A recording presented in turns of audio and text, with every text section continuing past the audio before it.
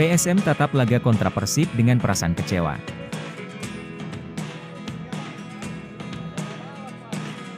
PSM Makassar harus menerima kenyataan pahit tersingkir dari ajang kompetisi antar klub BAFC Cup 2023-2024 setelah hanya bermain imbang satu sama kontra Haiphong FC, Vietnam.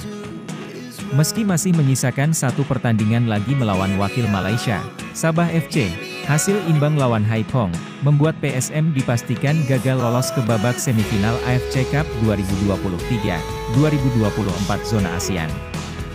Jumlah 7 poin yang dimiliki PSM sudah tidak mungkin lagi untuk mengejar Sabah FC yang dipastikan lolos ke semifinal zona ASEAN setelah menggasak wakil Singapura, Hougang United 1-4.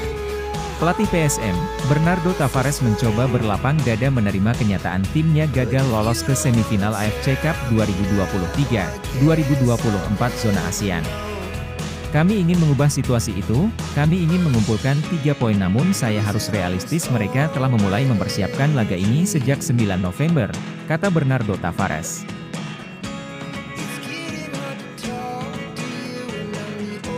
Meski begitu, pelatih asal Portugal itu, tetap mengapresiasi perjuangan para pemain yang tampil fit menghadapi Haiphong FC. Namun saya senang dengan para pemain, kami memang membuat beberapa kesalahan dan terkadang ketika kami membuat kesalahan lawan bisa mencetak gol itulah yang terjadi hari ini, tuturnya. Sementara pemain andalan PSM, Yakob Sayuri, menyampaikan permintaan maaf atas kegagalan PSM di ajang AFC Cup 2023-2024. Hasil seri, kami memohon maaf kepada supporter, ungkapnya. PSM akan melakoni pertandingan selanjutnya menghadapi Persib Bandung pada lanjutan kompetisi Liga 1 2023-2024.